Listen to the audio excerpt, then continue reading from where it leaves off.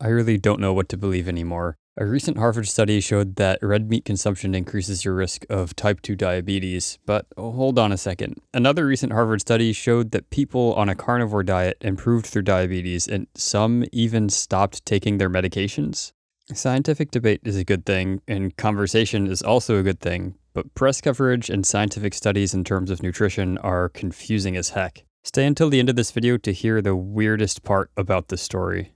So, when I first saw headlines a couple months ago linking red meat with diabetes, I sort of just shrugged it off. But then I realized I should probably look into it more, and in the process, found out that as consumers and normal people, it's really, really hard to figure out what might be slowly making us ill or what might be helping us to fight off illness. A lot of you have probably already heard about the Harvard study linking red meat to type 2 diabetes, but here it is in a nutshell. The study looked at 216,695 participants that were 81% female and 90% Caucasian. Their red meat intake was assessed via food frequency questionnaires that were given every two to four years. And in this video, we'll refer to the study as the 2023 Red Meat Diabetes Study.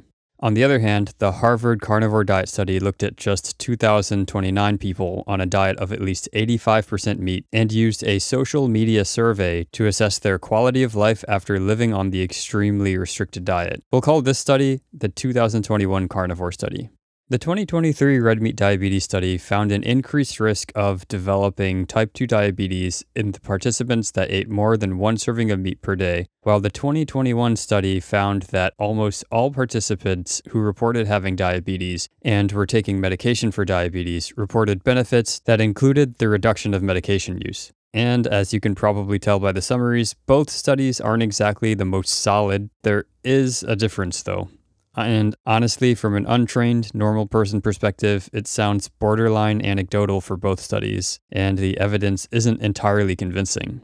The 2023 Red Meat Diabetes study used something called a food frequency questionnaire that was given to participants every two to four years. So, if you were in this study, you'd be expected to remember something like how many hot dogs do you consume per month, or how many cups of ground beef do you eat per day. Critics of the food frequency questionnaire often point out how unreliable it is because participants are, at best, basically guessing how frequently they're eating foods, or at worst, lying on the survey to sound more healthy than they actually are. Or they might just select a more healthy answer because they believe that they're eating healthier. But honestly, I can't even remember what I had for dinner two days ago, so answering a food frequency questionnaire every two to four years sounds nuts.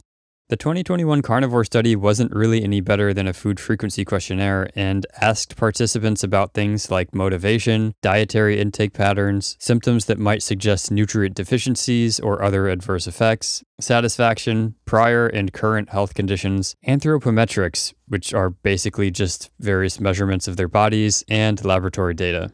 So, back to the 2023 red meat diabetes study. Critics of the study say that the authors didn't control for enough variables. For one thing, foods like meat sandwiches, burgers, casseroles, lasagna, and even frozen dinners were counted as meat, which means that people eating some or all of the above were lumped together with participants that might have been eating only homemade meat dishes. Considering when somebody eats a burger, they often will have fries or soda with it, it's not exactly the same as someone who might be, I don't know, on a keto diet and is eating a homemade steak with a salad every night for dinner. Critics also point out that for some reason, the authors of the study did not control for BMI, which is body mass index of the participants. Critics say that the BMI of the participants wasn't adjusted for, and that the authors themselves said that half the risk of diabetes is explained by excess body fat. In the study, the group that ate more red meat also had a higher body weight, exercised less, and smoked more than the groups that ate less red meat. This is something called healthy user bias, which basically means that in this data set, the people who ate more red meat were more likely to do unhealthy things like drinking sugar laden soda or smoking cigarettes, while the people who ate less red meat were more likely to do healthier things like exercising and choosing not to drink sodas or smoke. Now, the 2021 carnivore study isn't without its flaws, but if you read the discussion part of the study, the authors are well aware of this and list the weaknesses, what needs to be improved, and they say that further studies need to be done. The study is one of the first of its kind and acknowledges that it's a stepping stone towards further investigation. On the other hand, for the 2023 red meat diabetes study, you'll need to scroll all the way down to find this sentence at the end of the study. Finally, we cannot exclude the possibility of residual confounding due to the observational nature of this study. Basically, even with so much explanation and data collecting via food frequency questionnaires, the evidence is fundamentally observational and can't determine whether red meat actually causes type 2 diabetes. So, which is it? Is red meat associated with a higher risk of diabetes, or can an all meat diet actually help with diabetes? Luckily, in 2022, there was a meta analysis of 21 randomized controlled trials published in Nature that tried to answer one of these questions. Randomized controlled trials provide more reliable data than epidemiological or observational studies, and a meta analysis looks at the results from several different randomized controlled trials. This study found that red meat consumption had no statistical impact on diabetes risk.